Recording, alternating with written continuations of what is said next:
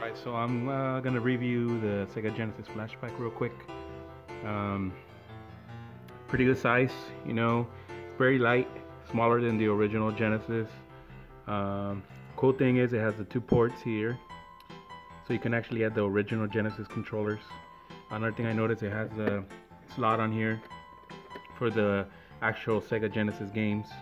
Um, kind of hate the logo this one right here but other than that it's pretty cool. Um, HDMI as well for newer TVs uh, and then the adapter for the uh, outlet for the electricity.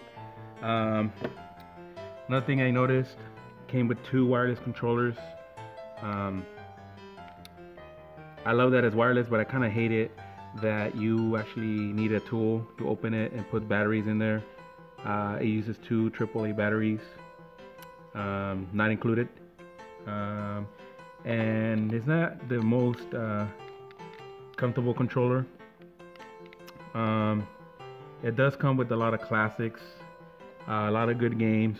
Um, it says over 85 games. Really you are um, honestly getting about half of that and what what I mean by I mean it does have 85, 85 games, but I guess what I'm talking about about 45 are actual classics or good ones. Um, there's a lot of bonus games I really don't care about.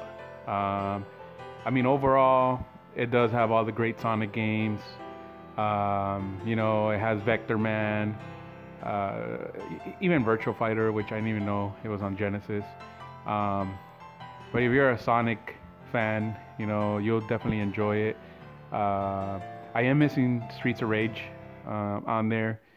A lot of good classics on there, you know, like Gunstar Heroes is not on there either. Um, but I love that it does have more games than the Super Nintendo Classic. Um, I will review the Super Nintendo Classic as well.